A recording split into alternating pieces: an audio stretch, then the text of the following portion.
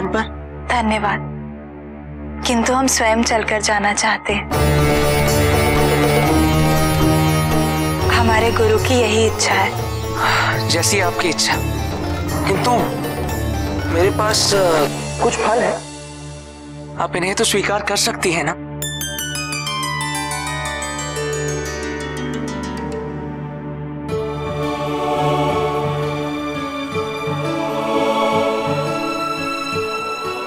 अतिरिक्त हमें आवश्यकता नहीं है।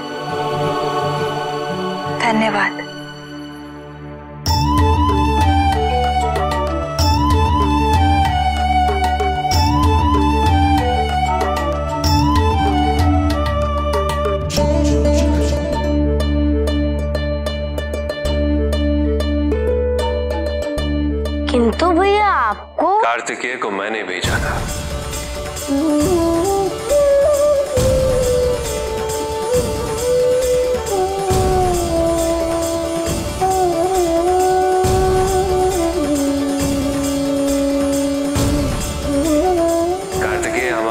योजना से अवगत है।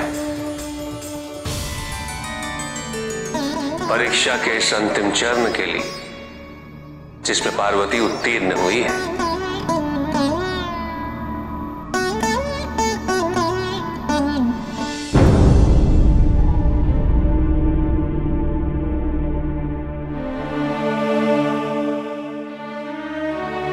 वो उसी स्थान पर आसन ग्रहण करने वाली जहाँ पे कई कल्पों पूर्व वृत्तासुर ने सती पर आक्रमण किया था। शीघ्र ही पार्वती को अपने सत्य की अनुभूति होगी।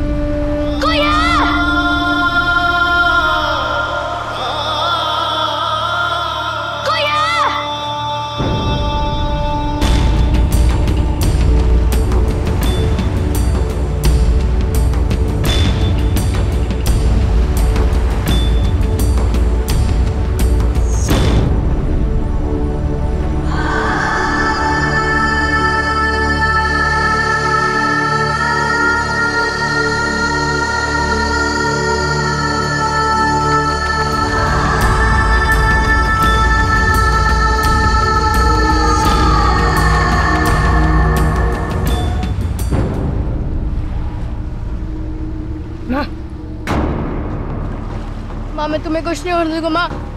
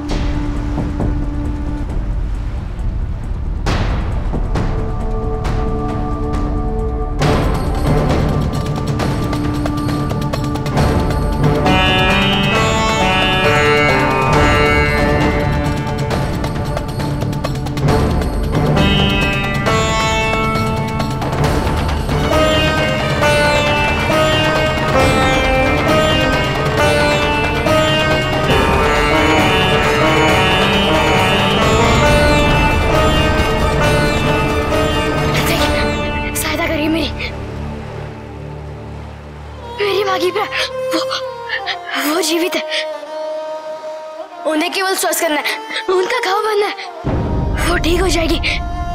अगर उन्हें समय से उपचार मिला तो।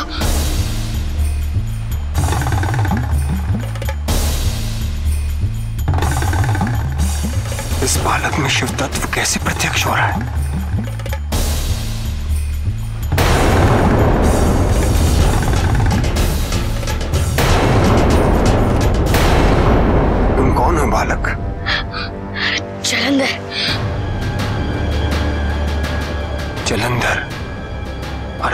जिसे जल ने धारण किया हो। कहीं महादेव मेरी सहायता कीजिए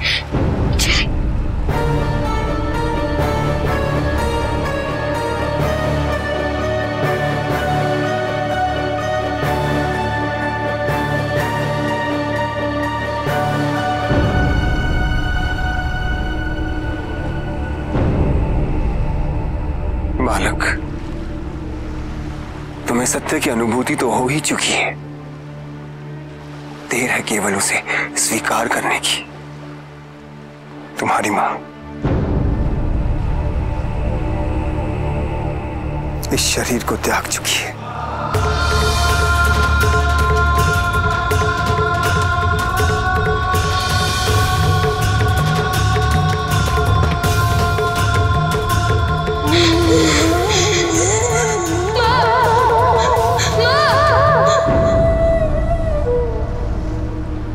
जलंधर निसंदेह शिवांशी है।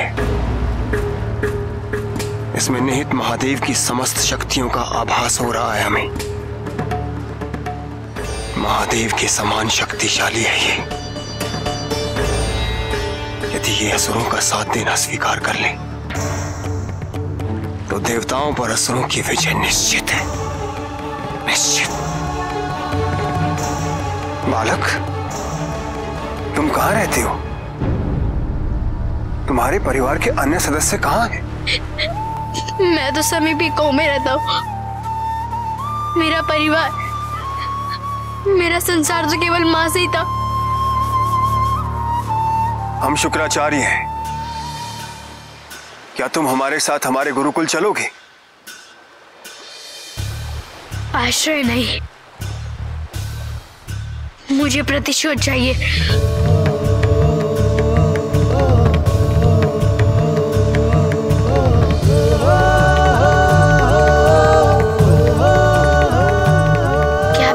किसका है? ये अस्त्र तो देवराज इंद्र का है।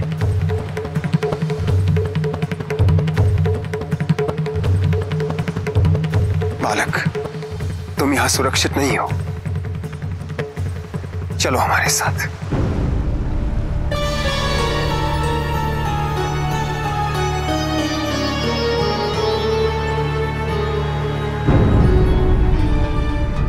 बालक की हत्या अनिवार्य है, शुक्राचार्य।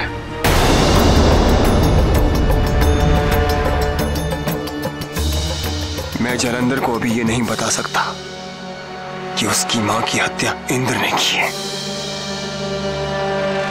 जलंधर को यह सत्य जानने के लिए इंद्र को पराजित करने योग्य बनने की प्रतीक्षा करनी होगी। जब तक हम जीवित हैं कोई भी इस बालक को क्षति नहीं पहुँचा सकता।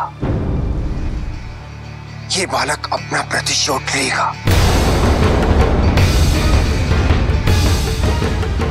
ना केवल अपनी माँ की हत्या का अपितु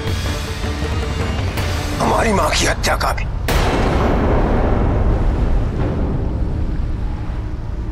क्योंकि इसके दोषी तुम सभी देवता ही हो।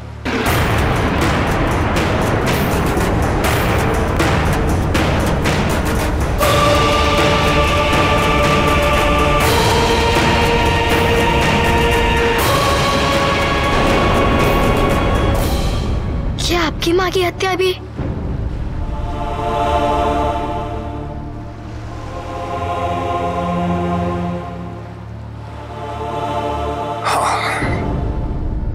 और इसीलिए हम तुम्हारी पीड़ा भी समझते हैं और तुम्हारी सहायता करना चाहते हैं।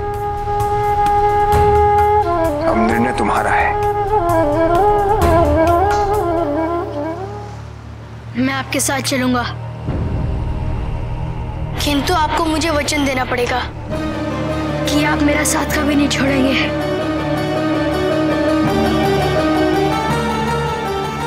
माँ ने भी मुझे वचन दिया था। किंतु वो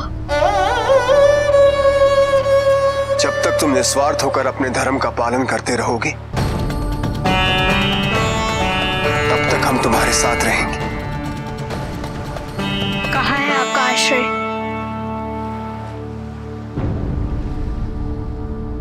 रुको।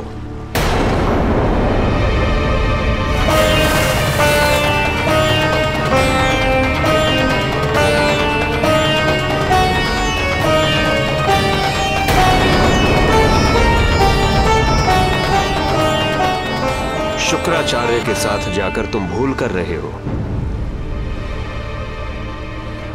असुरों का साथ देना उचित नहीं है। आओ पुत्र लौट आओ मैं दूँगा तुम्हें संरक्षण। तुम्हारा भरण पोषण भी मैं ही करूँगा। आओ पुत्र कहा थे आप? जब उन देवताओं के रथ ने उन अंडों को कुचला और मेरी माँ रोती रही। कहा थे आप? जब उन देवताओं की सेना ने मुझ पर और मेरी माँ पर आक्रमण किया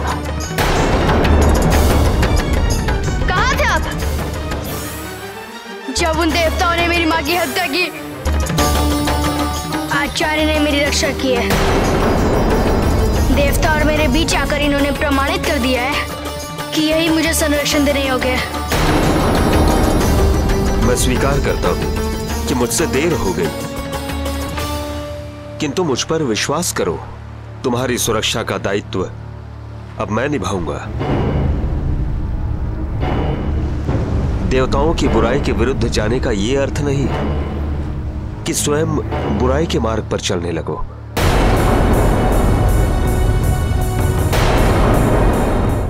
तुम्हारे जन्म से मैं तुम्हारे साथ हूँ। मैं तुम्हारा अहित कदापि नहीं चाहूँगा। आओ पुत्र, आओ।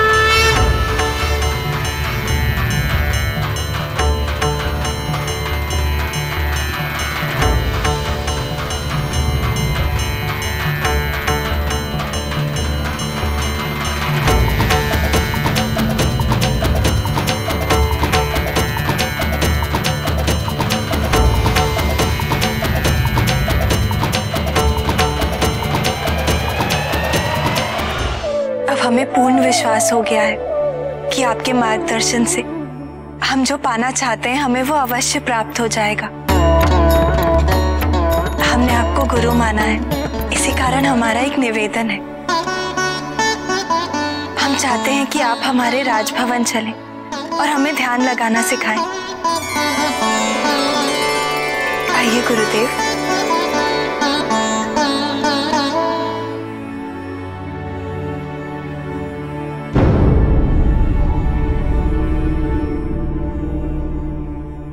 हुआ पिताजी जाओ।